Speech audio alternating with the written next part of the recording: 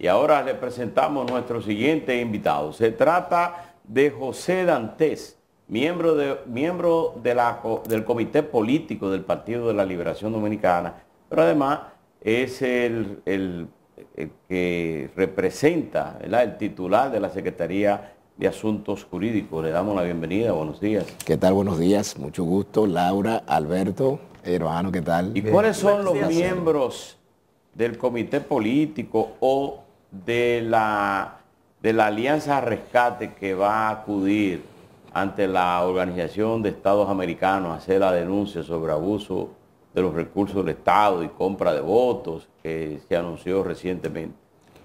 Mira, eso es algo que aún no se ha determinado, eh, eso es algo que aún no se ha determinado. Lo cierto es que van a ir con dos o tres comisiones para allá, eh, porque para nadie es un secreto que lo que este, esta gestión ha hecho al retener esos fondos es una violación a la ley electoral.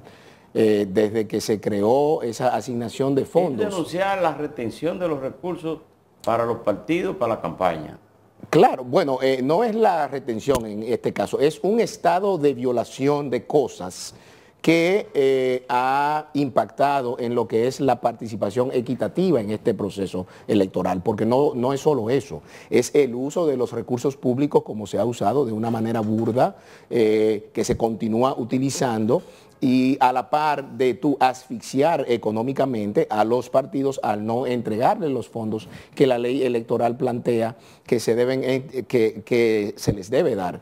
Desde el 97 que se creó ese aporte por Peña Gómez, que fue promovido por él, a los fines de que los partidos políticos no tuviesen que depender de financiamientos oscuros o de grupos empresariales, ningún gobierno nunca había dejado de entregar esos fondos. Inclusive en nuestros gobiernos, en los últimos, en, en el último proceso electoral del 20, con la suspensión de las elecciones del mes de febrero, el presidente Medina entregó una partida extra para las elecciones de, marzo y estaba dispuesto a dar la partida para un balotaje en caso de que fuese necesario. ¿Por qué? Porque la democracia está fundamentada en el sistema de partidos y los partidos requieren de estos fondos para operar en su día a día para llevar a cabo sus actividades de formación, de capacitación y para las propias candidaturas en todos los niveles de elección. O sea que lo que estamos viendo aquí es una estrategia de un gobierno que se quiere quedar a las malas, eh, porque si ellos tienen los números que ellos dicen tener, ¿por qué razón hacer todas estas cosas? José, pero vamos a tratar de despejar un poco el tema de los fondos de los partidos.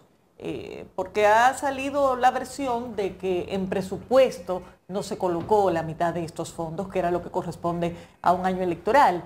Eh, ¿Es eso cierto? ¿Están o no están en presupuesto los fondos? No, mira, lo que ocurre es que el artículo 224 es claro de la ley. Dice que en los años electorales tendrá un 0.50 de los ingresos nacionales. Aquí la situación realmente deriva de que en la ley de presupuesto hay un artículo, el 51, que faculta, oíganme qué absurdo, faculta al presidente de la República a descontar las partidas a un grupo de instituciones y ahí te lista todas las instituciones que en este caso pueden ser afectadas por una disminución de fondos. Y entre ellas está la Junta Central Electoral. Ahora, ¿qué ocurre? Esos fondos no son de la, de la Junta Central Electoral. Esos fondos no forman parte del presupuesto operativo de la Junta Central Electoral. La Junta es el mecanismo para hacerle llegar los fondos a los partidos políticos. Pero por vía de consecuencia. Se hizo una disminución del presupuesto de la Junta, hay, un, hay documentado ese, no, lo que, actuación. Lo que ocurre es que la, propia Junta Central, cuando somete su presupuesto, está la parte que ellos piden para sus procesos y está la parte de los partidos políticos. En un monto global, ponte tú 5 mil millones de pesos. Al recortarle a la Junta Central Electoral, entonces el gobierno dice, y a los partidos políticos solamente le estamos dando dentro de este monto global el punto 25%. Y ahí es donde viene la violación a la ley electoral, que es que no pueden dejar de entregar esos fondos porque es una ley sectorial. Y vienen y dicen, bueno, lo que ocurre es que si por leyes sectoriales vamos, eh, más del 80% de ese presupuesto ya está comprometido. Lamentablemente, eh, en todos los gobiernos se ha tratado de cumplir con los porcentajes, menos con los ayuntamientos, porque realmente eh, no es posible el 10%, el 10 que, creo que, la ley 176 tiene. Entonces, para un proceso electoral donde los actores principales son los partidos que son 36 partidos del sistema, no es posible que un gobierno, haciendo uso de los recursos públicos como lo está haciendo, vaya a una competencia donde los otros no tengan un solo centavo para poder llevar a cabo sus actividades proselitistas. En el caso de esa ley, de la ley que establece el 0.25 en años no electorales. En años no electoral y el 0.50 durante el año electoral. En este año se ha producido ¿verdad? un año electoral, pero hay dos elecciones, que fue las municipales y las presidenciales ahora. Ustedes plantean que, pregunto, pues no, no, tengo la información, ustedes están planteando que se entregue el 0.50 para las elecciones municipales y el 0.50 para las elecciones presidenciales. ¿O fue que el gobierno dividió? El 0.50, el 0.25 para elecciones municipales y el 0.25 para elecciones presidenciales. No, un 0.25 para todo el proceso electoral. Para todo el proceso. Para, para, el del mes, para el de las elecciones pasadas y para esta. O sea, es una violación a la ley. ¿Había pasado eso en alguna ocasión anterior? Vuelvo, y digo, ningún gobierno desde el 97 que se creó la ley electoral con esta asignación de fondos, que fue una idea de José Francisco Peña Gómez, de quien el PRM dice que son sus discípulos, nunca ningún gobierno había dejado de entregar los fondos porque tenían muy claro lo que esto significa para la democracia dominicana. Y esto no es un sistema que solamente se da en nuestro país, esto ocurre en 18 países de la región, porque es la forma en que usted puede garantizar que los partidos políticos no sean dominados por intereses ocultos, por grupos empresariales, por dinero del bajo mundo. Porque si no, cuando uno de esos partidos que se ha financiado por estos grupos llegue al poder, ¿quién es que va a estar gobernando? Entonces, eso es lo que busca ese financiamiento público y los partidos o su, día a día es en función de esos fondos. Por vía de consecuencia, se está violando un principio constitucional, además, que es el de la equidad en la participación de las elecciones y el artículo 216 eh, de los fines de los partidos políticos. Antes, para entender un poco, ¿qué dice la ley? ¿Cuál es el tiempo de acuerdo a los plazos en que debe entregarse esos fondos? No, no habla de... o sea, no habla de que debe ser 30 días antes. No, para nada, pero se supone que si tú, si tú tienes unas elecciones en el mes de febrero, tú en un año electoral debes dar los fondos antes de las elecciones. Se supone que si tú tienes un proceso electoral en mayo, tú no me puedes dar los fondos cinco días antes de, eso. ¿Por qué? Porque los partidos tienen un día a día de preparación de, de, todo un grupo de gente que trabaja en mesas electorales, en talleres, en capacitación de otro tipo, pero además eso financia candidaturas también. ¿Por qué? Para que los, para que los candidatos no tengan que tocar puertas no tengan que acceder a recursos del bajo mundo. Nosotros vimos hace cuatro años como un señor de la provincia del Cibao fue extraditado y había dicho que había financiado la campaña del PRM en, en, en, en toda esa provincia. Y, y, finalmente fue condenado por narcotráfico. Entonces, eso es lo que queremos, que el narcotráfico se apodere de los partidos políticos. Entonces, este es el único gobierno que ha violado esa ley, e, esa ley en más de 30 años. ¿Hay, ¿Hay una constancia por escrito de la posición del gobierno con este tema? Bueno, la constancia es la asignación presupuestaria. Eh, lo que sí hay es una constancia de la Junta Central Electoral en dos cartas que se dirigen al ministro de Hacienda, al director de presupuesto con copia al presidente de la República. Que son de la eh, Junta hacia ellos. Hacia ellos, donde les recuerda que el artículo 224 de la ley electoral consigna la asignación de un 0.50 de los ingresos nacionales y que esos fondos le corresponden a los partidos políticos, los cuales solo han recibido hasta la fecha de esas cartas de hace más de dos meses 0.25. O sea, que ¿Ha la habido Junta... respuesta?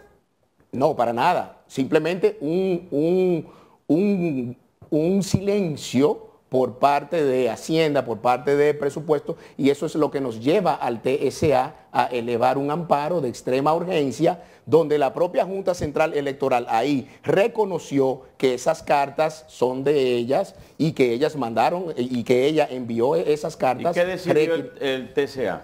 Mira, el TCA en un dispositivo, porque aún no contamos con la sentencia íntegra, eh, nos rechazó ese, ese recurso, no conocemos los alegatos, pero la idea es justamente ir al constitucional en una revisión de, de esa decisión, porque entendemos que se siguen violando los derechos fundamentales de los partidos políticos en este caso. Dantes, veo que han hecho algunos ajustes, principalmente el candidato presidencial del PLD, y ha nombrado como su representante ante la Junta Central Electoral a Iván Lorenzo, el senador. Sí. Eh, ¿Qué otras estrategias estarían ustedes utilizando ya víspera pronto a las elecciones de mayo? Mira, eso es una práctica que se hace en todos los procesos electorales. Los candidatos presidenciales siempre tienen a alguien ante la Junta Central Electoral que vele en el, en el día a día por eh, todo lo que son las actividades del montaje de las Se elecciones presidenciales. estaban sí, sí, sigue manteniéndose lo que estaban. Esto es simplemente Un por el,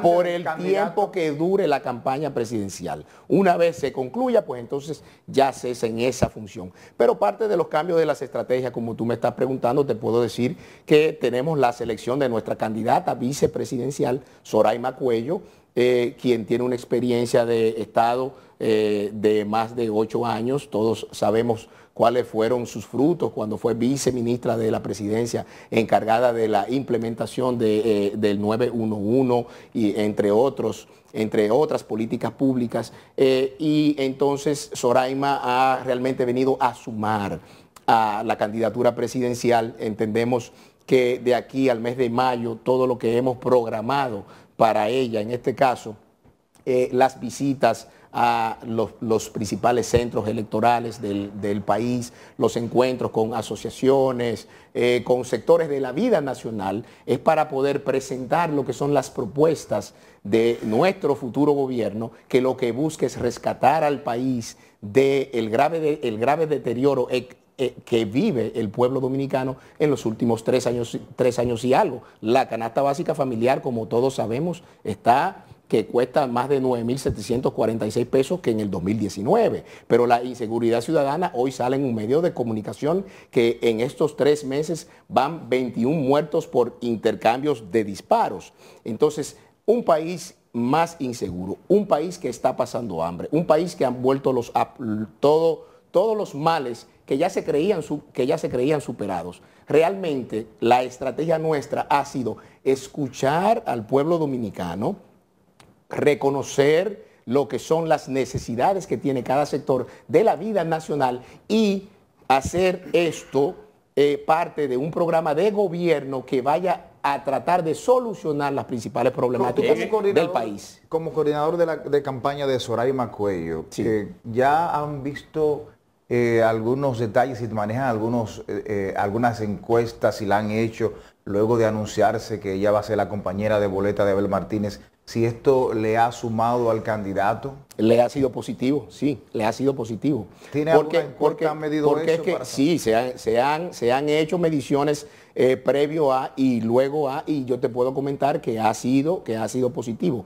Es una figura fresca, pero es una, es una figura que complementa a nuestro candidato presidencial y ambos tienen un común denominador. Son gente de resultados, son gente que han dado frutos en todas las funciones públicas que les ha tocado desempeñar. O sea, que ese binomio realmente y el programa de gobierno que se va a estar presentando en los próximos días recoge lo que es una propuesta programática que garantice un futuro seguro para el pueblo dominicano en todos los aspectos en todos los aspectos, porque para nadie es un secreto, vuelvo y digo, la situación de calamidad que estamos viviendo en todos los sentidos. Justamente Soraima Cuello en estos días criticaba que cómo era posible que un director esté al frente de dos instituciones tan estratégicas como es el Intran y el 911. O sea, dos de los grandes problemas que tiene el Gran Santo Domingo, el tema de la atención a las emergencias por un lado y el tema del caos en el tránsito, están siendo dirigidos por una sola persona. Es que en este gobierno no hay técnicos suficientes, que hay que estar eh, dándole más de una institución a una persona. El que mucho abarca, poco aprieta. Entonces, yo creo que realmente eso es otro de los reflejos de la incapacidad y de la inoperancia de esta gestión de gobierno. Entonces yo creo que eh, eh, nuestra, nuestra fórmula presidencial y vicepresidencial cuenta con todos los elementos, con todas las características, los atributos para poder presentar un programa de gobierno sustentado en lo que nosotros hemos demostrado que hemos podido lograr, que es dar resultados positivos a favor de la población. Entonces, eso es lo que está en juego en las próximas elecciones. Si se continúa con este camino de deterioro que ya está tomando ribetes autoritarios que atentan contra la democracia, o si, todo lo contrario, se endereza el curso y el pueblo dominicano entiende que ya está bueno de carestía de vida, de más inseguridad, de apagones, de inflación, de caos en el tránsito, de una educación que no tiene una cobertura universal y de un sistema de salud extremadamente precario. A partir de este 2024, en caso de que vuelva el Partido de la Liberación Dominicana. Vamos a volver. Al poder, ustedes vuelven a resolver el problema de la carestía y de la, de la inseguridad? Mira, yo creo que nosotros hemos presentado, eh, nuestro candidato presidencial ha presentado en los últimos meses con el tema de la seguridad, por ejemplo, eh, lo que serían 10 líneas básicas de acción eh, para poder... ¿Se eliminaría y reducirían los precios? Eso no es algo que tú lo puedes hacer por un decreto, sino por medidas. Yo creo que realmente cuando este gobierno adopta la posición de privilegiar las exportaciones, las importaciones, perdón, en detrimento de la producción, e, eso afecta de una manera directa los costos de la canasta básica familiar porque te está trayendo un producto que compite con el producto local y el productor local además quiebra, o sea que también te afecta los empleos. Lo que sí te puedo garantizar es que de cuando nosotros ganemos eh, las próximas elecciones, ese gobierno va a priorizar la producción nacional, va a revitalizar el campo dominicano, va a apoyar a los productores como debe ser, a las pequeñas, a las microempresas también. Y tenemos que sentarnos a ver cuáles son los retos que tenemos como país. El sistema eléctrico nosotros sabemos que está teniendo pérdidas como nunca. Entonces, este es un gobierno que se había negado a firmar el, pacto eléctrico eh, mientras no eran gobierno. Desde que fueron, desde que ellos llegaron, agarraron el pacto eléctrico y, y ni siquiera le cambiaron las fechas y lo firmaron. Pero ¿qué han implementado? Las pérdidas siguen aumentando los cobros siguen siendo totalmente precarios y el sistema está por el suelo. Entonces yo creo que vuelvo y digo, de, lo que se trata de este proceso es de escoger quién va a enderezar este país en los próximos cuatro años o si el pueblo dominicano entiende que desea continuar por este despeñadero que nos lleva el gobierno de Luis Abinader y el PRM. Eh, José, eh, para terminar, la reunión que se produjo hace unos días que participaron Danilo Medina y Leonel Fernández. El lunes de Semana Santa. ¿Cuál fue la reacción de, la militancia del PLD? Porque si bien se dio el famoso abrazo, la verdad es que muchos se quedaron esperando que ambos hablaran en este acto. Miren, eh, realmente nuestra militancia esperaba este acto y yo creo que la de los otros partidos también como una muestra de la unidad que prima en las tres organizaciones políticas. Ahora, no se puede perder de vista que las tres tenemos un objetivo, que es ganar las elecciones, cada uno con nuestro candidato presidencial. Entonces, eh, yo creo que, que eso estando claro, eh, hay un común denominador que nos une, que es sacar a este gobierno Pero por no el bien se- del no se pueblo logró dominicano. esa unidad ahí en ese Claro que no se sí. previo a eso, previo a eso, ellos estaban en un cuarto solo, los candidatos Sí, lo con se el presidente fue Medina. Ah, no, pero una cosa es lo que se vio. Bueno, pero lo que se ve, Pero, eh, pero no, lo que no es lo que ocurre esté es que- ahí adentro, lo que se ve No, por televisión, pero- lo que se ve en una foto. Pero lo que se vio ahí fueron las ovaciones que se Había, dieron sí, de sí, una manera reiterada cuando se dieron el abrazo. Porque el público Entonces, que estaba ahí, que eran los dirigentes, sí, había entusiasmo de unidad. No, pero yo estaba Dentro ahí. de Pero- Danilo y Lionel no se vio eso. no, ¿quién te dijo? Claro que sí, Inclusive de se manera previa, pero están las que- fotos. Que Lionel no saludó como, como con, con agrado a Danilo Medina. No, para nada, para nada. Si, si previamente están las fotos ahí. Yo me sorprendo cuando, cuando escucho gente que tiene la capacidad de determinar los niveles de efusividad y de, y de, y de alegría en, en un, en un gesto no verbal. Y, y- y tú puedes verlo, ciertamente, pero ellos sí es se dieron un abrazo. el lenguaje verbal- Habla, pero ellos sí se dieron el abrazo. Bueno, pero, es que ahí se extrañó el lenguaje verbal también, verbal- porque no hablaron. Porque es que nunca han hablado. Fíjate que en toda esa alianza ha habido un solo vocero, que es Miguel Vargas Maldonado. Tú, tú nunca has, has visto en ese escenario a nuestro secretario general, Charlie Mariotti, haciendo uso de la palabra. ¿Verdad que no? Ni al secretario general de la Fuerza del, del Pueblo. No, hay un vocero que está designado por los tres partidos, que es Mi- Miguel Vargas Maldonado, y él era el encargado de, en en- en ese caso, dar el discurso que recoge lo que son los acuerdos de la Gran Alianza, Rescate RD. O sea, que pierdan, pierdan cuidado en ese sentido. Nosotros estamos eh, todos muy focalizados a ganar las elecciones, cada quien con su candidato presidencial, pero lo que sí estamos claros es que en caso de la segunda vuelta, que creemos que va a haber una segunda vuelta y que vamos a ganar, en este caso nosotros, pues vamos a ir todos juntos porque lo que se quiere al final es el bienestar del pueblo dominicano. Bueno, José, gracias. gracias. por haber estado con Muchísimas nosotros. gracias a. Despedimos a José Dantes, miembro del Comité Político del PLD, titular de la Secretaría de Asuntos Jurídicos y coordinador nacional de campaña de la candidata a la presidencia, Soraima Cuello. Gracias por estar a la vicepresidencia. Vicepresidencia, Eh, gracias. Soraima Cuello, gracias por haber estado con nosotros, José. Señores, llegamos al final de la entrega. Nos vemos mañana.